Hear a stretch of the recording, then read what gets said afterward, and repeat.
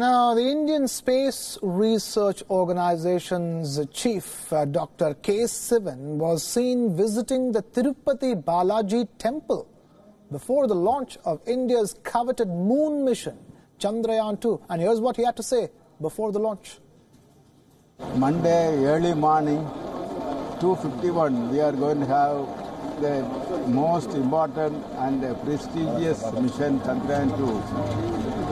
It is the GSLV Mark III vehicle is going to be used for this mission and uh, after successful uh, launch and it will nearly it will take two months to go and land on the moon near South Pole.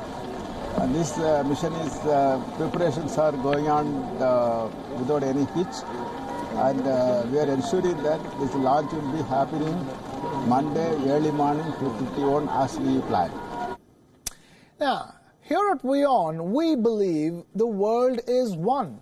And of all the things that draws us all closer, the biggest one is food. The world loves Indian food, and Indians like to savor global cuisine.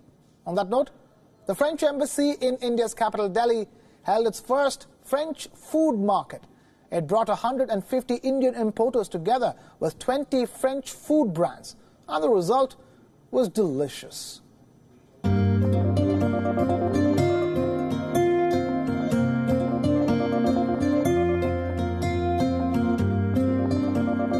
There were chocolates and tarts, syrups and cheese.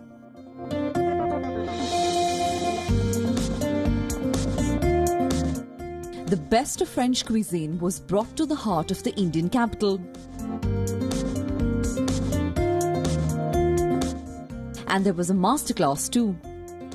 Chef Benoit Vidal led the charge. Indian chefs from leading five star hotels pitched in. They agreed that India has an incredible response to French food.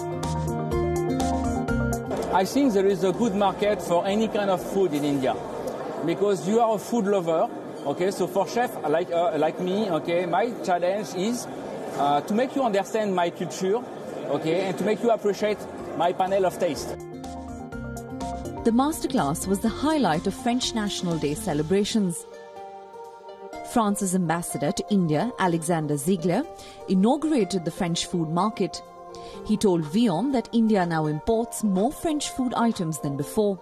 It's higher by 25%. Well, food is both a culture and a business.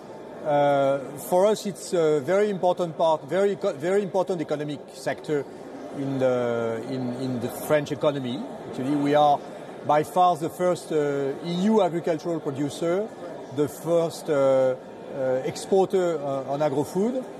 But we do believe that there are uh, a space for more French products being both imported and produced locally.